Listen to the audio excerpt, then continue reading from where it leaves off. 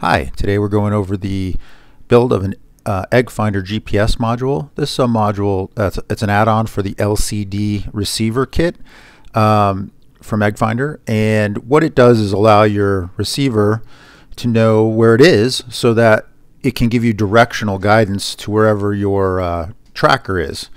Uh, for instance, when your rocket lands, it can give you uh, azimuth and direction based off uh, the location of the receiver.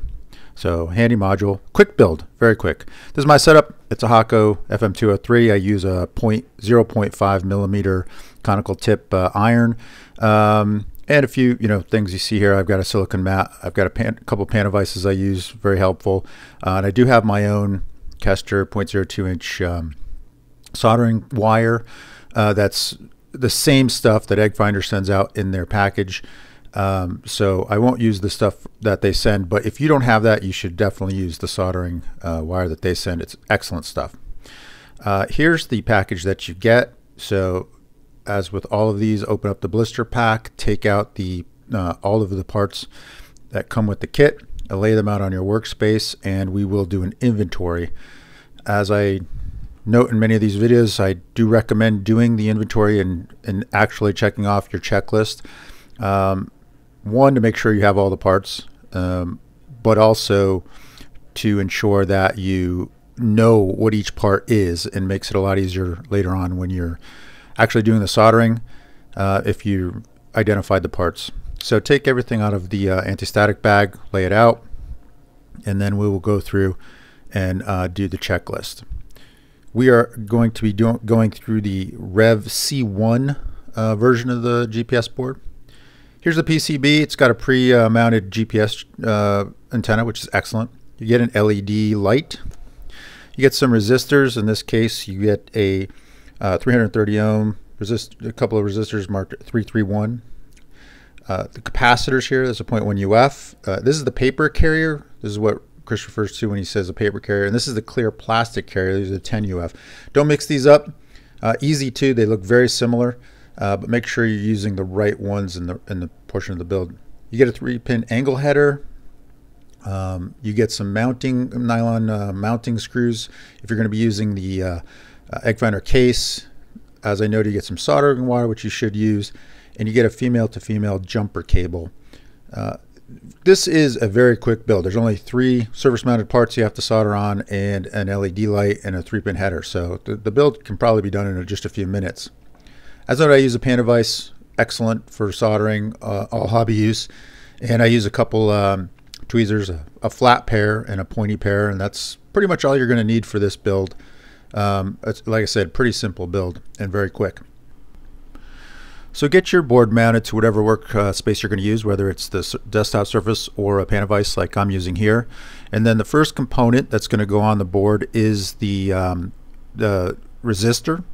Um, and as with all these surface mounted parts, just tin one pad uh, and then use your tweezers to put the tack the uh, the part in place to the pad you just tinned. Um, get it lined up, and then I like to rotate the board using the vise. It's, that's one of the benefits of it, and then securely uh, solder both sides. Uh, I like to touch up that pad you just tend to because usually there's not enough solder there. But you don't need a huge amount of solder. You don't want a bridge underneath it. But you do want to make sure that you have a nice uh, uh, tent on each side to secure the chip.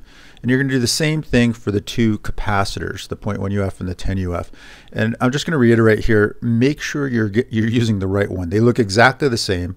Uh, the 10 UF is a little bit larger uh, than the than the 0.1 UF. So you know, you can see it that way, but the main difference is the 0.1 UF ones that we're doing right here come in a paper carrier and the 10 UF ones come in a clear plastic carrier. It's really, this is the most, probably most critical part of the build in the sense that like you have to make sure you're putting the right one in the right place. Other than that, it's these three surface mounted parts and you're, you know, once you get these in, you're done with all of those surface mounted parts and the only thing left is a couple through hole parts which are pretty easy.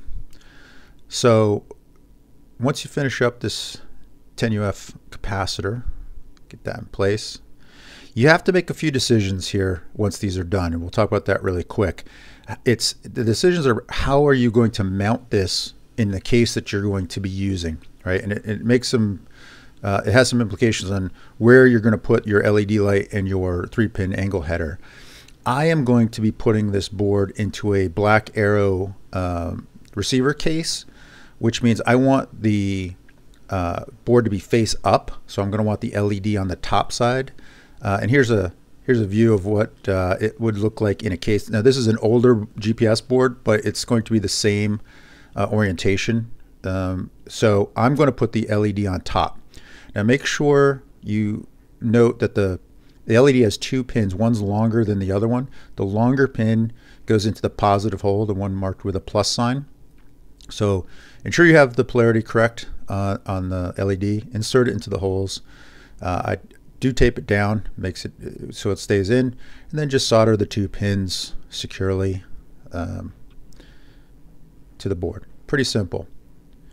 Um, once those pins are soldered in, uh, go ahead and trim the excess uh, pins off here. I do like to make sure I use a, uh, a pair of tweezers to hold on to that because those those uh, extra the long parts can go fling it off into your eye or anywhere else. So do be careful here, a little safety, make sure you wear eye protection and uh, control that. But once you have those trimmed off, the next thing is to put the angle header in. So I'm going to put it at the bottom because I found that easiest for when I build the uh, Black Aero cases. So put it in, tape it on, flip it over, and solder in all three pins. Now, that's it. Uh, this board, that's pretty much it for this board. Uh, if I wasn't taking the time to film it, I would say that the entire build would probably take about five minutes. Uh, so pretty quick. Now I'm not going to go mounting it through mounting it, but you should test it. And so I'm just using a um, a LCD receiver here. Uh, make sure it's been updated to the right version. It's this is a later model, so it already has all of the pins in place to just plug the cable straight in uh, to the right port. But what you're looking for here is for it to go through its cycle. It's going to, I have it set for uh, a GPS mode, so it's going to go look for a TRS. It's not going to find it, but then it's going to go look for the GPS module. And if everything worked fine in your build, it will go find a satellite until you've got a fix and the light will start blinking and you know you've done a good build here and you're ready to go. Um, and then that's it. You've tested it. It can be mounted. Uh, I will go through it in a different video to how to mount these things and and um, uh, go through the build of a, of a Black Aero case. But that's it. It's a pretty simple build. Uh, hopefully you guys uh, can do this one pretty simply. Uh, if you need to, you probably are not going to build a lot of these, but uh, if you have any questions, uh, feel free to put it in the comments below. Thanks and good luck.